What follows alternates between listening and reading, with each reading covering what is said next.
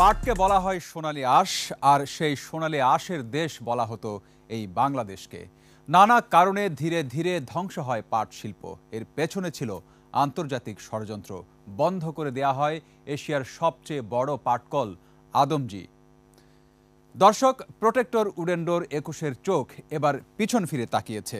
চলে যাব দু হাজার দুই সালে কেন, কীভাবে বন্ধ করে দিয়েছিল আদমজি জুট মিল তা জানার আগে চলুন জেনে নেই পাটকলটির সংক্ষিপ্ত ইতিহাস। নারায়ণগঞ্জ জেলার সিদ্ধিরগঞ্জের সুমিলপাড়া শীতলক্ষাপাড়ে আদমজি পাটকল স্থাপনের কাজ শুরু হয় উনিশশো পঞ্চাশ সালে। দুইশো সাতানব্বই একর জমির উপর পাটকলটি গড়ে তোলেন ব্যবসায়ী পরিবারের তিন ভাই ওয়াহেদ আদমজি, জাকারিয়া আদমজি ও গুল মোহাম্মদ আদমজি। উনিশশো একান্ন সালের বারো ডিসেম্বর সতেরোশো হেসিয়ান ও এক হাজার শেকিং গ্লুম দিয়ে উৎপাদনে যায় মিলটি।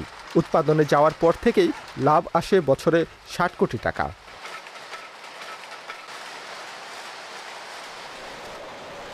আদমজি জুট মিলে উৎপাদিত চট, কার্পেট সহ নানা ধরনের পাটজাত দ্রব্য দেশের চাহিদা মিটিয়ে রপ্তানি হতো চীন, ভারত, কানাডা, আমেরিকা, থাইল্যান্ড সহ ইউরোপের বিভিন্ন দেশে।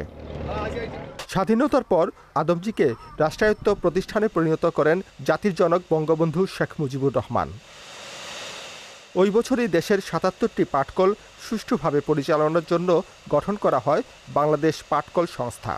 পাবলিক সেক্টরে কীভাবে আমাদেরকে অপারেট করতে হবে, সেটার জন্য আমাদের ট্রায়াল অ্যান্ড এরর মেথড দুই তিন বছরের মধ্যে উই জাস্ট ম্যানেজড।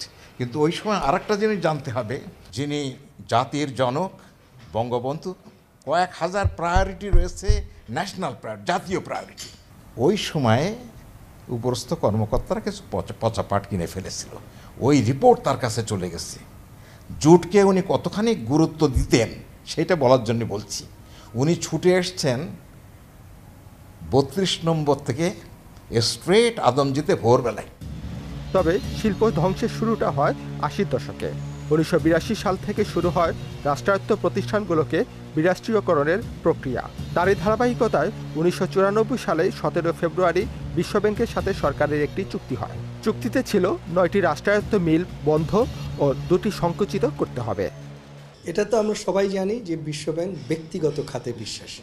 সেই জন্য তারা সব সময় শুরু থেকে আদমজি মিলকে রাষ্ট্র বিরাষ্ট্রীয়করণ শুধু আদমজি মিল না সমস্ত জুট মিল সমস্ত টেক্সটাইল মিলকে বিরাষ্ট্রীয়করণ সমস্ত ব্যাংককে বিরাষ্ট্রীয়করণ করার কথা বলে এসেছে। আদমজির কফিনে শেষ পেরেকটি মারা হয় দু হাজার দুই সালে। বিএনপি জামাত জোট সরকার ২৬ জুন আদমজি পাটকল বন্ধে বিল পাশ করে।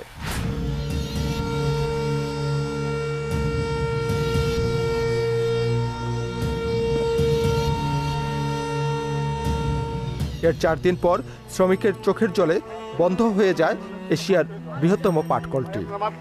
সবাই।